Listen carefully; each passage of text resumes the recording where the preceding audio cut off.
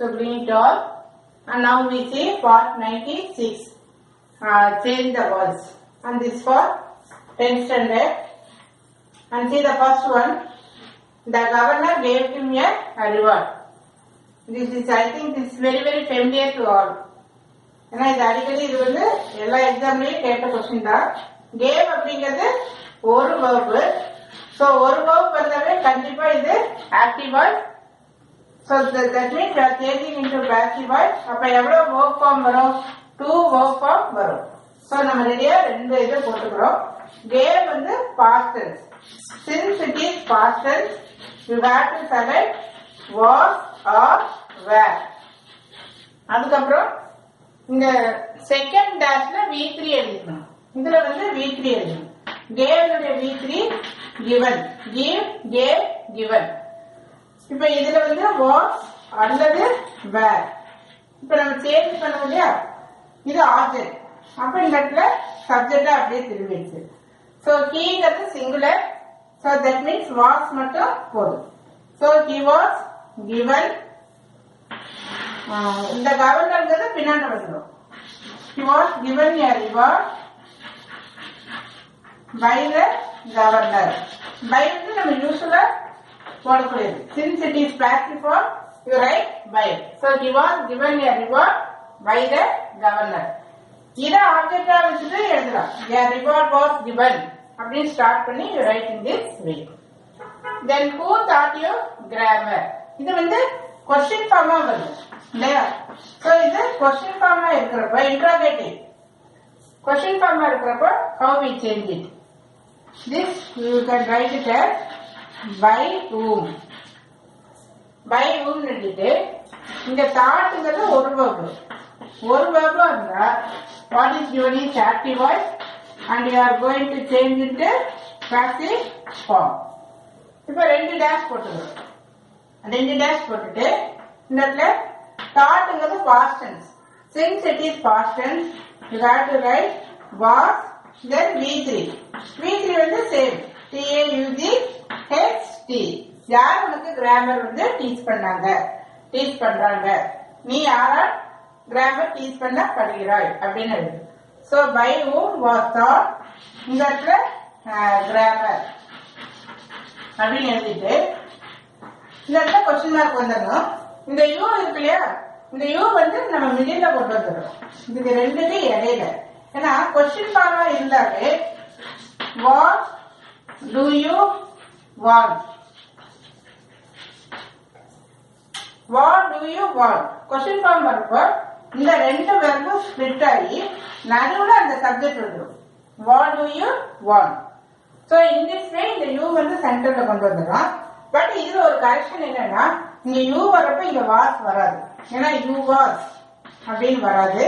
So இதை நம்ம என்ன மாத்திக்கிறோம்? வேர் யூ வர்றதுனால நம்ம வந்து we change it as where so by whom where you thought grammar or you can write in another way also you can write by whom in இந்த இடத்துல இந்த கிராமரை நடுவில் கொண்டு வந்துடும் தென் யூ வந்து அந்த சைடு கொண்டு வந்துடும் then மற்றதுல assertive T A U G H T இந்த இடத்துல வேர்க்கு பதிலா யூ ஆர் ரைட்டிங் வாஸ் ஏன்னா கிராமர் வாஸ் அப்படின்னு எழுதலாம் பட் யூ வாஸ் அப்படின்னு வராது. So you can write by oh was grammar taught you இதுவே ஹூ வச்சு எழுதலாம் யூ ஜஸ்ட் ரைட் ஹூ இந்த பை வந்து இந்த லாஸ்ட்ல வந்துடும் இந்த லாஸ்ட்ல வந்து அப்படியே கொஸ்டின் மார்க் வந்து இந்த இடத்துல வரும் ஸோ ஹூ இந்த இடத்துல யூ வச்சு எழுதுறப்போ who were who value B A U G H taught grammar by who were you taught grammar by இந்த இந்த பை இருக்கு அந்த இந்த பைய லாஸ்ட் கொண்டு வந்துட்டு இந்த இடத்துல நம்ம இந்த பை ஊம் அப்படிங்கறத ஹூ அப்படின்னு மாத்திக்கிறோம். And we see one more sentence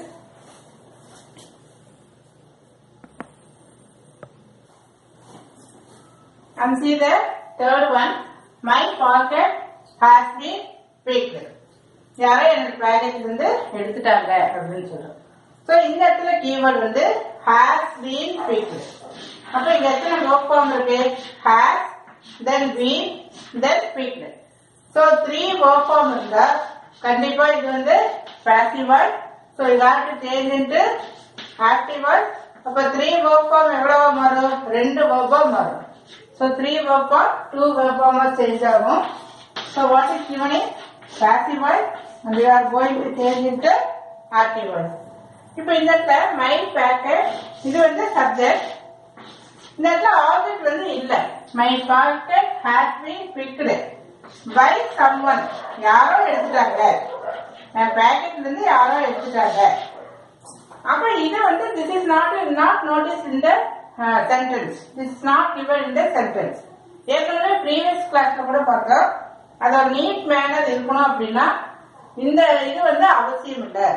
Agent doer of the action இது வந்து ஆக்ஷன் பண்ணது யாரு? இது.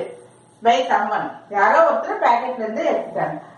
ஸோ அந்த மாதிரி இருக்கிறப்போ இந்த ஆப்ஜெக்ட் வந்து நம்ம ஃப்ரண்ட்டுக்கு நம்மளா அசியூம் பண்ணிட்டு இந்த பிகினிங்ல எழுதுறப்போ சம்மன் அப்படின்னு எழுதுறோம்.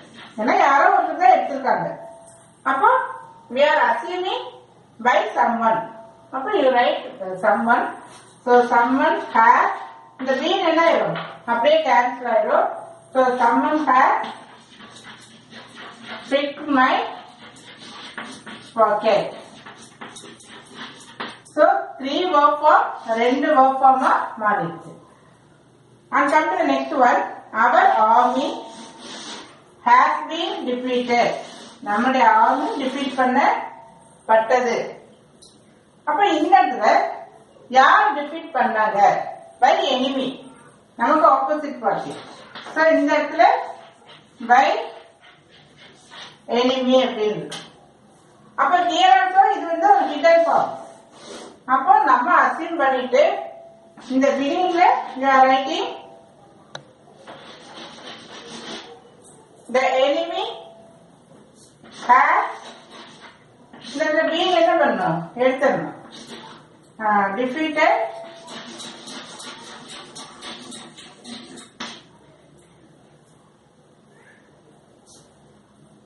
இதை விட நம்ம just we can change in this way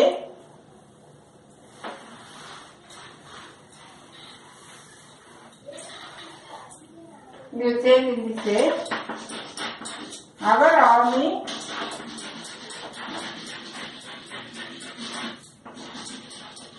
has defeated the enemy. நம்ம ஆர்மி எனிமியை டிஃபீட் பண்ணாங்க. அப்படின்னு வர்றப்போ இது இது இது வந்து நமக்கு ஆக்டிவ் வாய்ஸ் அப்ப நம்ம அதை பேசிவ் வாய்ஸா மாத்திக்கலாம். So what is during active word we are changing into passive word அப்ப இங்க ரெண்டு வேர்க் ஃபார்ம் இருக்கு இல்லையா அதை வந்து நம்ம மூணு வேர்க் ஃபார்மா மாத்துறோம் நடுவுல வந்து ஜஸ்ட் பீன் தெரிஞ்சுனா போதும் ஏன்னா ஹேஸ் ஹேவ் ஹேஸ் ஹேவ் இது வந்தா இதனுடைய ஸ்ட்ரக்சர் சென்டர்ல you are writing been so you just write has been defeated இந்த எனிமிங்கிறது முன்னாடி வந்துடும் the enemy has been defeated by our army. So the enemy has been defeated by our army. Thank you.